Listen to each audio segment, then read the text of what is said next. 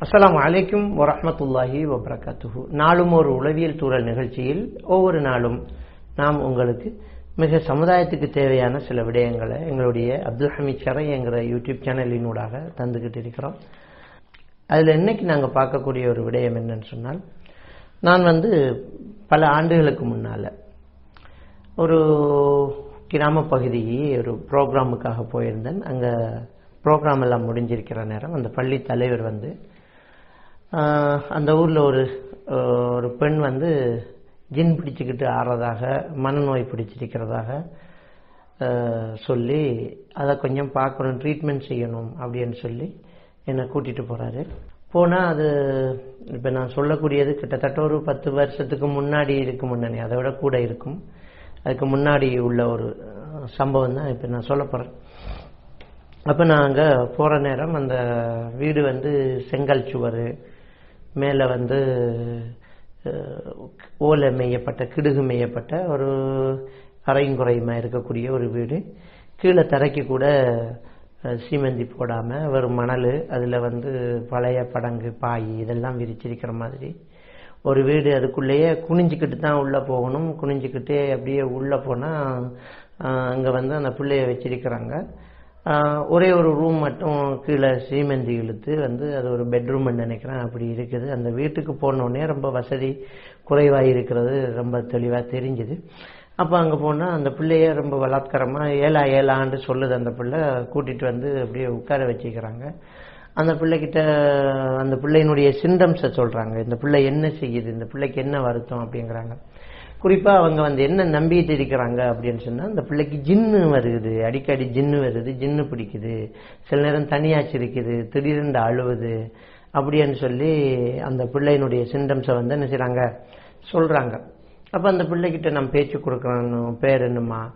அப்படின்னு சொல்லி பேச்சு கொடுத்து அந்த பிள்ளைகிட்ட வந்து ஏதாவது டிஸ்ஆர்டர் இருக்குதா? மனநிலை பாதிக்கப்பட்டிருக்குதா? அப்படிங்கிறத தெரிஞ்சுக்கிறதுக்காக வேண்டி நான் அந்த பிள்ளைகிட்ட பேச்சு கொடுக்குறேன்.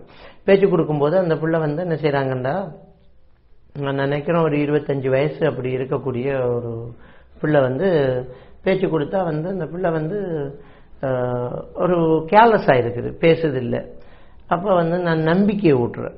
அவங்கள கொஞ்சம் தள்ளி நிற்க சொல்லிட்டு வெளியில் நிற்க சொல்லிட்டு அவங்க நாங்கள் பேசிட்டு இருக்கிறத பார்க்க முடியும். ஆனால் கேட்க முடியாது. அப்படியான ஒரு தூரத்தில் அவங்க வெளியில் நிற்கிறாங்க கதவு திறந்து இருக்குது. நான் பிள்ளைகிட்ட பேசிக்கிட்டு இருக்கிறேன். பேசிட்டு இருக்கும்போது நான் நம்பிக்கை விட்டுறேன் முதல்ல. முதல்ல கவுன்சிலிங் வந்து வந்து நம்முடைய கிளைண்ட்டு வந்து நம்மள்ட்ட வந்து எல்லா விஷயத்தையும் ஓப்பனாக சொல்ல மாட்டாங்க. நம்ம மேலே ஒரு நம்பிக்கை அவங்களுக்கு வரணும். இது வந்து கவுன்சிலிங் படித்தவங்களுக்கு தெரியும். முதல்ல வந்து நம்பிக்கை ஊட்டுதல். அந்த உட்கார்ந்திருக்கிற பொசிஷனை வந்து நம்பிக்கை ஊட்டுற மாதிரி ஐ கண்ட்ரக் இருக்கிற மாதிரி நேர எதிர எதிர இருக்கலாம் அல்லது வி ஷேப்பில் இருக்கலாம். உடம்பு டச் பண்ணக்கூடாது. முட்டுக்காலும் முட்டுக்காலும் படுற மாதிரி ரொம்ப நெருக்கமாலாம் உட்காரக்கூடாது. அதெல்லாம் வந்து போலியானவங்க. உண்மையாக கவுன்சிலிங் தியரி படித்தவங்க அப்படி உட்கார முடியாது. இஸ்லாமிய மார்க்கவும் அதைத்தான் சொல்லுது. அவங்கள தொட முடியாது தீண்ட முடியாது. அடைச்ச ரூமில் கதவை பூட்டி வச்சுட்டு எல்லாம் கவுன்சிலிங் பண்ண முடியாது. அப்போ வந்து உட்கார்ந்து அவங்கள்ட்ட நம்பிக்கை ஊட்டுறேன் நான் வந்து நான் ஒரு மௌலவி. நான் வந்து உங்கள் ஊருக்கு இப்படி பயானுக்கு வந்திருக்கேன். அவங்கள பற்றி சொன்னாங்க. இவங்க சொன்னதுக்கு நான் நம்பலை. உங்களுக்கு ஏதோ ஜின்னு வருதாகவும் மென்டலி வந்து நீங்கள் மனநிலை பாதிக்கப்பட்டதான்னு சொல்கிறாங்க நான் உங்களை பார்த்து அப்படி தெரியல. எனக்கு உங்களை நம்பிக்கை இருக்குது. உங்களுக்கு ஏதோ ஒரு பிரச்சனைக்கு நீங்கள் ஆளாக இருக்கிறீங்க அதை சொல்லுங்கள் அப்படின்னு சொல்லி ஒரு நம்பிக்கையை நான் வந்து ஊட்டுறேன். ரொம்ப நேரமாக நம்பிக்கையை ஊட்டிக்கிட்டே இருக்கிறேன். அதுக்கு பிறகு தான் மெதுவாக அப்படியே நிமிந்து பார்த்து நீங்கள் எனக்கு என்ன செய்யலாம் அப்படிங்கிறாங்க. அவன் நான் நான் வந்து சொல்கிறேன் உங்களுக்கு என்ன தேவை இருக்குதோ அந்த தேவையை என்னால் நிறைவேற்ற முடியலாட்டி அது சம்பந்தப்பட்டவர்கள் ஊடாக அந்த தேவையை என்னால் நிறைவேற்ற முடியும் அப்படின்னு நான் வந்து என்ன செய்கிறேன் அவங்களுக்கு ஒரு நம்பிக்கையை ஊட்டுறேன். ஊட்டினதுக்கு பிறகு அவங்க என்ன சொன்னாங்க என்னை பற்றி அப்படின்னு அவங்க கேட்குறாங்க அவங்க வந்து அவங்க வாப்பா சொன்னாங்க உங்களோட உம்மா சொன்னாங்க நீங்கள் வந்து திடீரென்று சிரிக்கிறதாகவும் சில நேரத்தில் திடீரென்று அழுகுறதாகவும் சாப்பிட்றதில்ல தூங்குறதில்ல குளிக்கிறதில்ல இப்படியெல்லாம் சொல்கிறாங்கம்மா அப்படின்னு சொன்னோன்னா அப்படியே ஒரு ஒரு நக்கல் சிரிப்பு மாதிரி ஒரு சிரிப்பு சிரிச்சுக்கிட்டே அவங்க வந்து ரெண்டு காலையும் அப்படியே குத்தி வச்சுட்டு அங்கே ரெண்டு முடங்காலுக்குள்ளேயும் தலையை புதைச்சிக்கிட்டு அந்த மணலை வந்து ஒரு குச்சி எடுத்து ஏதோ கீறிக்கிட்டு இருக்கிற நேரம் எனக்கு அவங்கள புரியுது. ஏதோ இவங்க ரொம்ப பாதிக்கப்பட்டு இருக்கிறாங்க இவங்க சொன்னதை வந்து அவங்க ஒரு கேலஸாக சிரித்து விட்டுக்கிட்டு மனசில் ஒரு பெருமூச்சை ஒன்றை எடுத்து வெளியில் விடுற நேரம் எனக்கு புரிஞ்சுது. இவங்க ஏதோ ஒரு ரொம்ப ஒரு விஷயத்தில் பாதிக்கப்பட்டிருக்கிறாங்கங்கிறத என்னால் யூகிக்க முடியுது. அப்போ கவுன்சிலிங் செய்யக்கூடியவங்க தன்னுடைய கிளைண்டினுடைய ஒவ்வொரு பாடி லாங்குவேஜ் அவங்களுடைய இமோஷன்ஸ் இதை வச்சு அவங்கள்ட்ட என்ன மனநிலை இருக்குதுங்கிறத யூகிக்க தெரிஞ்சிருப்பாங்க. அந்த யூகத்தை வந்து அவங்களுக்கு அவங்களுடைய இமோஷனை திருப்பி வெளிப்படுத்துவாங்க. திருப்பி வெளிப்படுத்துற நேரம் நம்பிக்கை இன்னும் அதிகமாகி அவங்க வந்து அவங்க பிரச்சனையை பேசிக்குவாங்க. இது கவுன்சிலிங் பண்ணக்கூடியவங்களுடைய ஒரு ஸ்கில்ஸ் அந்த அடிப்படையில் நம்ம வந்து என்ன செய்யறோம்னு சொன்னால் அவங்க வந்து அப்படி ஒரு பெருமூச்சு விட்டு ஒரு நக்கல் சிரிப்பு சிரிச்சுக்கிட்டே அப்படியே தலையை வந்து அந்த முடங்காலுக்குள்ள பணிச்சுக்கிட்டு நிலத்துல ஏதோ கீறிக்கிட்டு இருக்கிறாங்க. அவங்க என்ன கீறாங்க என்ன வட்டம் போடுறாங்க? இதெல்லாம் ஒரு கவுன்சிலிங் செய்கிறவங்க பார்ப்பாங்க அவங்க. என்ன எழுத்தை எழுதுகிறாங்க எப்படியான சித்திரம் எழுதுறாங்க? என்ன கலர் அவங்களுக்கு பிடிக்கும்? அவங்களுக்கு இனிப்பு பிடிக்குமா? உரைப்பு பிடிக்குமா? அம்மா பிடிக்குமா? வாப்பா பிடிக்குமா? உறவுகளை யாரை பிடிக்கும்? எதுல எல்லாம் வெறுப்பு இருக்கு. இதெல்லாம் கேட்கறது வந்து அவங்களுடைய மனநிலையை தெரிஞ்சுக்கிறது தான் இதை கேட்பாங்க. அப்போ அவங்கள கவனிச்சுக்கிட்டு இருக்கும்போது எனக்கு விளங்குது இவங்க ரொம்ப ஒரு விஷயத்தில் பாதிக்கப்பட்டிருக்கிறாங்க. பட் இந்த வாப்பா உமாங்கிறவங்க சொன்னதை வந்து அலட்சியப்படுத்துறாங்கன்றா அவங்களுக்கே என்னை பத்தி சரியா தெரியல. அப்படிங்கிற மாதிரி அவங்களுடைய அந்த பாடி லாங்குவேஜ் எனக்கு தெரியுது. அப்போ நான் சொன்னேன் அவங்க எப்படி சொன்னாங்கம்மா அவங்க சொன்னதை விட உங்களுக்கு வேறு பாதிப்புகள் இருக்கலாம். அவங்களுக்கே உங்களை பற்றி நிறையா புரிஞ்சிக்க முடியாமல் இருக்கலாம். அவங்க மனநல ரொம்ப பாதிக்கப்பட்டிருக்கிறது மட்டும் தெரியுது. உங்க வேதனையை சொல்லவும் முடியாமல் சொல்கிறதுக்கு ஆளும் இல்லாமல் நீங்கள் அவதிப்படுறீங்க. அப்படிங்கிறது என்னால் யூகிக்க முடியுது. என்ன ஆச்சு என்ன நடந்துச்சு? நீங்கள் நம்பினா என்ன ஒரு சகோதரனை நினச்சி சொன்னால் உங்களுக்கு என்னால் முடிஞ்ச உதவிகளை நான் செய்வேன். அப்படின்னு சொல்கிற நேரம் அவள் என்னை நிமிந்து அப்பதான் பார்க்குறான் பார்த்து அவ என்ன சொல்கிறான்னு சொன்னால் இது வந்து எனக்கு உண்மை இல்லை அது தெரியுமா உங்களுக்கு? அப்படின்னு கேட்குறான் எனக்கு அப்படியே தூக்கி வாரி போட்டுச்சு. உண்மை இல்லையா? அப்போ யார்? என் வாப்பாவுடைய ரெண்டாவது தாரம் தான் அவர். எங்கள் உம்மா வந்து நான் பன்னெண்டு வயசாக இருக்கும்போதே மரணிச்சிட்டாங்க.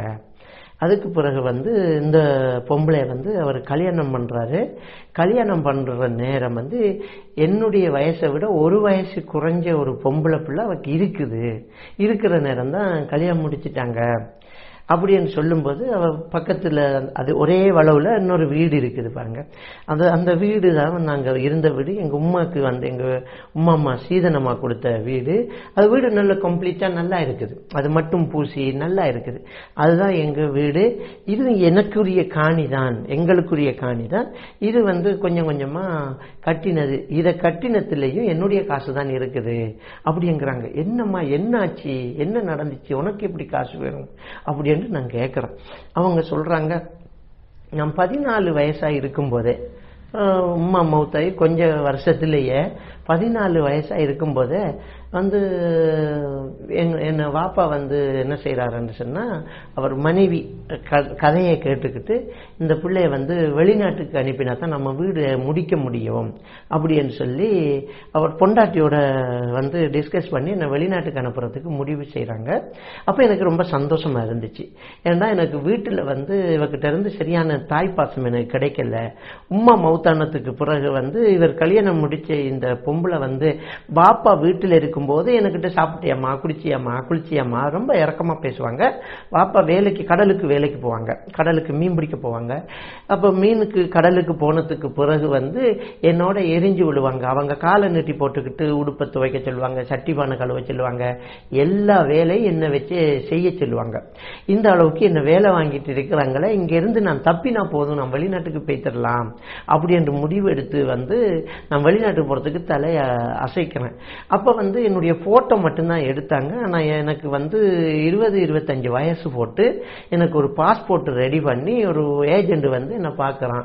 வந்து உங்களை வந்து வெளிநாட்டுக்கு அனுப்புகிறேன் அப்படின்னு சொல்லி எனக்கு வந்து கூட்டிகிட்டு போகிறான் அப்போ வெளிநாட்டுக்கு கொழும்புக்கு போய் கொழும்பில் வச்சு என்ன செய்கிறாங்க ட்ரைனிங்னு சொல்லி ஒரு இடத்துல வந்து ட்ரைனிங் கூட்டி போகிறாங்க மெடிக்கல் கூட்டி போகிறாங்க இதெல்லாம் வந்து என்னை வச்சு செய்கிறாங்க அப்போ என் பாப்பா வந்து கூட வந்து நிற்கிறார் கூட வந்து நிற்கிறார் எனக்கு அங்கேயே ரொம்ப பெரிய அநியாயம் நடந்துடுச்சு என்று அந்த குழந்தை வந்து அந்த பொம்பளை வந்து அப்படியே அழுகுறான் அவள் வந்து கண்ணால் தண்ணி கொட்டிக்கிட்டே இருக்குது அழுதுகிட்டு இருக்கிறான் என்ன அணியனம்மா என்னாச்சும்மா என்ன நடந்துச்சு? அப்படின்னு கேட்டால் வந்து எல்லாம் passport ready ticket ready visa ready எல்லாம் ரெடி இன்னைக்கு நைட்டு வந்து மூணு மணிக்கு ஃப்ளைட் உங்களுக்கு அப்படின்னு சொல்லி பாப்பாவோட என்ன மரியாதையாக ஏர்போர்ட் வரைக்கும் கூட்டிகிட்டு போகிறாங்க ஏர்போர்ட்டுக்குள்ளே போ உள்ளே வந்து அவங்களுக்கு அனுமதி கிடையாது. என் வந்து டிக்கெட் எடுத்து கொடுத்து வெளியில் வந்து ஃப்ளைட்டு கிளம்புறத காட்டுறதுக்கு அப்படியே வச்சுட்டு அவங்க வந்து கடைசியாக என்னை வந்து பாப்பா வந்து நெத்திய மோந்து க- நல்லபடி போயிட்டு வாமா காசு அனுப்புமா வீட்டை கட்டி முடிப்போம்மா தெரியுமில்ல நம்முடைய கஷ்டமண்டெல்லாம் எல்லாம். வாப்பா வந்து என்கிட்ட பேசிட்டு ஏன்னா நான் உள்ளே போனோன்னும் அவருக்கு வந்து அஞ்சு மணிக்கு எங்கள் ஊருக்கு பஸ் இருக்குது ஏர்போர்ட்லேருந்து அந்த பஸ் எல்லாம் அப்படியே புக் பண்ணி ஏஜெண்டால் என்ன செய்கிறான் கொடுக்குறான். அப்போ நான் உள்ளே போ- போயிட்டேன். அப்போ போனால் வந்து உள்ளே போய் இமிக்ரேஷனுக்கு போய் அவள் அவள் பாசையில் சொல்கிறான் அந்த காட்டெல்லாம் கொடுக்குறேன்னு சொல்றா. இமிக்ரேஷன்ற வார்த்தையே அவளுக்கு தெரியாது. ஒழுங்காக படிக்காத பிள்ளை. அப்படியே போய் எல்லாம் செஞ்சோன்னே அங்கே கடைசியில் வந்து டிக்கெட்டை செக் பண்ணுறாங்க தமிழாலேயே சொல்கிறாங்கம்மா நீங்கள் போக வேண்டிய டேட்டு இன்னும் ரெண்டு நாள் இருக்குதே. ஏன் இப்போ வந்தீங்க? இல்லை வந்து நான் இன்றைக்கு தானே கூட்டிகிட்டு வந்தாங்க. ஏஜென்ட் இல்லைம்மா நாளை மறுநாள் வாங்க. அப்படின்ட்டு வெளியில் அனுப்ப சொல்லிட்டாங்க. அப்போ நான் அங்கேருந்து அப்படியே பொட்டி எழுத்துட்டு வெளியில் வந்து அந்த ஏஜென்ட் மட்டும் நிற்கிறான் அவன் என்ன பிளான் பண்ணி செஞ்சிருக்கிறான். எங்கள் வாப்பாவை வந்து நான் வெளிநாட்டுக்கு போயிட்டேன் அப்படின்னு சொல்லி சும்மா ஏறின ஃப்ளைட்டுக்கு பாய் ஹாட்டை சொல்லிட்டு அவனை நான் ஊருக்கு அனுப்பி விட்டுட்டு அப்போ என்னட்ட ஃபோன் வசதி இல்லை. நான் நாளாடி தானே ஃப்ளைட்டு ரெண்டு நாள் தான். சரி பார்ப்போம் அப்படின்ட்டு நான் திரும்ப வீட்டை கூட்டிகிட்டு வரேன் பாருங்க. அப்படியே கூட்டிகிட்டு போய் ஒரு ரூமில் வைக்கிறான். அந்த ரெண்டு நாளும் அப்படின்னு சொல்லி அவள் வந்து சொல்கிறா என்னை வந்து அவன் ரொம்ப கெடுத்துட்டான் அப்படிங்கிறாங்க. ஒரு ஏழை பிள்ளைய வெளிநாட்டுக்கு ஏற்றுறதாக கொண்டு போய் இப்படி திட்டம் திட்டி வாப்பாக்கிட்டேயே பாய் காட்ட சொல்லி அனுப்பிட்டு இந்த ஏஜெண்ட் வேலை செய்கிறவங்க இந்த நசமாக போனவங்க செய்யக்கூடிய வேலை பாருங்க. அந்த பிள்ளைய வந்து ரெண்டு நாளாக அவன் கூட்டாளிமாரோட சேர்ந்து அந்த பெண்ணை வந்து சீரழிக்கிறாங்க. அவன் வந்து அழுதுகிட்டே அந்த மூலையில் இருக்கிறான். அந்த கதவு திறப்படும் போதெல்லாம் அந்த கதவு தட்டப்படும் போதெல்லாம் ஆக்கள் நடமாடும் போதெல்லாம் தன்னுடைய உசுறு போக போகுது அப்படின்னு நான் துடிச்சுக்கிட்டு இருக்கிறேன். அவங்க வந்து என்னை மாத்திரை தந்தாங்க என்னை குளிச தந்தாங்க என்னோட ஈடுபட்டுட்டாங்க என்னை வந்து ரொம்ப பலாத்காரம் பண்ணினாங்க அப்படின்னு அந்த புள்ள வந்து அழுவுது. அதுக்கு பிறகு அந்த புள்ள வந்து என்ன சொல்லுதுன்னு சொன்னால் ரெண்டு நாளையில் என்னை வெளிநாட்டுக்கு ஏற்றி விட்டாங்க. நான் வெளிநாட்டில் இருந்து ரொம்ப கஷ்டப்பட்டு அங்கேருந்து உழைச்சி வந்து காசு அனுப்பிக்கிட்டு இருக்கிறேன். பாப்பாவுக்கு ஒவ்வொரு முறையும் காசு அனுப்பிட்டு வந்து பேசும்போதுமா அத்திவரம் போட்டுட்டேன் வந்து கட்டிக்கிட்டு இருக்கிறேன் அப்படின்னு சொல்லி சொல்கிறாங்க ஆனால் பக்கத்தில் இந்த எந்த அத்திவாரம் போடலை இந்த வீடு கட்டலை. எங்கள் உமாக்கு கொடுத்த சீதனை விட்ட பூசி அதுக்கு போ அலுமாரி வேண்டி அதுக்கு பொருளெல்லாம் வேண்டி அதை வந்து முடித்து என்ன செய்கிறாங்கன்னு சொன்னால் என் தாய் சொத்து என் தாய் செவலி சீதனம் எனக்கு வர வேண்டிய வீட்டை என்னுடைய பாப்பா வந்து அவர் பொண்டாட்டி மகளுக்கு சீதனமா கொடுத்து கல்யாணம் முடிச்சு கொடுத்திருக்கிறாரு. அதுதான் அந்த வீடு அப்படின்னு அழுகுறாங்க. அதுக்கப்புறமா நான் வந்துட்டேன். வந்து பார்த்தா அந்த வீட்டில் கல்யாணம் நடந்திருக்குது. என்னுடைய சொந்த வீட்டில் நான் ஒரு பயணி மாதிரி ஒரு ஒரு ஓரமாக ஒரு இடத்த தராங்க. அந்த இடத்துல நான் உட்காந்துருக்கிறேன் பாருங்க. நான் கட்டின வீடு என் தாய் வழி சொத்து. நான் வந்து படுக்க வேண்டிய பெட்ரூமில் எவ்வளோ படுத்துட்டு இருக்கிறாள். என் மச்சான் வந்து இருக்கிறாங்க. எனக்கு அளவு முடியலை சிரிக்கவும் முடியலை. வேதனைகளை மனசுக்குள்ளே வச்சுக்கிட்டு இருக்கிறேன். ஆனால் எங்கள் வாப்பா வந்து அதிகாரமாக இருக்கிறாங்க. திரும்ப போமா போய் வந்து அந்த வீட்டை கட்டிடு அப்படின்னு சொல்கிறாங்க அவரால் எதுவுமே நடக்கல. ரெண்டாவது தடவை நான் வெளிநாட்டுக்கு போகிறேன் அந்த ரெண்டாவது தடவையும் வெளிநாட்டுக்கு போய் காசு அனுப்புகிறேன் அந்த அனுப்பின காசால் இவ்வளோ வரைக்கும் கட்டி இருக்குது ஆனால் என்கிட்ட சொன்னது கம்ப்ளீட்டாக வீடு முடிஞ்சுமா? பூசியாச்சு. இதுக்கு இவ்வளவு தேவை இவ்வளவு தேவைங்கிறாங்க. என்னுடைய காசை வேறு என்ன பண்ணினாருன்றே தெரியல. நான் வந்து காசெல்லாம் அனுப்பி எனக்கு வீடெல்லாம் கட்டி முடிஞ்சிருக்கும். எனக்கு கல்யாணம் நடக்குங்கிற நம்பிக்கையோட நான் வாரேன். எனக்கு வந்து நடந்த கொடுமை தெரியாது. நான் ஏற்கனவே கற்பை இழந்துட்டேன். அதையெல்லாம் நான் நல்லவுக்காக பொறுத்துக்கிட்டேன். இந்த பாழா போன உலகத்துல சீதனம் என்கிற ஒரு வீடு காசு இல்லாம என்னை யாருமே கட்டிக்க மாட்டாங்க. அப்படிங்கிறதுக்காகத்தான் நான் இதையெல்லாம் தாங்குறேன். இந்த பாவத்தை வந்து யார் சுமப்பாங்கங்கிறத கொஞ்சம் சிந்திச்சு பாருங்க. இன்னைக்கு பெண்ணுக்கிட்ட காசு சீதனம் வீடு என்று வேண்டுறாங்க இல்லையா? இந்த சமுதாயம் இதை வந்து சுமந்தே ஆகணும். இதுக்கு வக்காலத்து வாங்குற மௌலவி மாதிரி சைன் வைக்கிறவங்க மௌலவி கூட ஒரு சீதன வீட்டில் வாழ்ந்துக்கிட்டு இருக்கிறாங்க. இந்த கண்ணீர் எல்லாம் சும்மா விடுமா? அவங்க வந்து ரெண்டு வருஷத்துக்கு பிறகு திரும்ப வந்து இறங்குறாங்க. இந்த வீடு இப்படியே இருக்குது. அப்படியே இருந்தோன்னே நான் அழுதுகிட்டு இதுலயே இருக்கிறேன் எனக்கு வரக்கூடிய மாப்பிள்ளைகள் எல்லாம் வந்து இந்த வீட்டை முடிச்சு தந்துருங்க வீட்டை முடிச்சு தந்துருங்கன்ட்டு திரும்பி திரும்பி போயிட்டே இருக்கிறாங்க. அப்போ போயிட்டே இருந்தோன்னே எங்கள் வாப்பா திரும்ப சொல்றாரு இன்னும் ரெண்டு வருஷம் போயிட்டு வாமா இந்த வீட்டை முடிச்சிடலாம் அப்படிங்கிற எனக்கு நம்பிக்கையே இல்லை மௌலவி. நான் திரும்ப போனால் எனக்கு வந்து இந்த சொத்துக்கள் எடுத்து அவங்க என்ஜாய் பண்றாங்களே தவிர நான் அங்கே போய் இப்ப கற்ப இழக்கணுமா? அங்க இருக்கக்கூடிய ஹவுஸ் டிரைவர் என்ன விடுவானுங்கிறீங்களா? ஏஜெண்டால் என்ன விடுவானுங்கிறீங்களா? பார்க்கக்கூடிய ஆம்பளைகள்லாம் காம பார்வையை மட்டும்தான் வச்சு பார்க்குறான். ஈவன் அவள் இன்னொரு விஷயத்தை சொல்கிறாங்க எங்கள் அங்கிள் ஒருத்தர் வந்து என்கிட்ட வந்து நெருக்கமாக பழகுறாரு. பழகி வந்து என்னம்மா உனக்கு என்ன பிரச்சனை அப்படின்ட்டு நெருங்குகிறாரு. நெருங்கும் போது நான் அங்கிள் எனக்கு இப்படி ஒன்று நடந்து போச்சு அப்படின்னு சொல்லி நான் வந்து என்னுடைய கஷ்டத்தை சொல்கிறேன் நான் வெளிநாடு போனவன். அதில் எனக்கு கொழும்பில் நடந்த ஒரு கொடுமை இதையெல்லாம் வந்து அவர்கிட்ட சொல்லி நம்ம வந்து மனசை தேர்த்திக்கிறதுக்காக வேண்டி யார்கிட்டையுமே சொல்ல முடியாதுங்கிறதுனால அழுதா.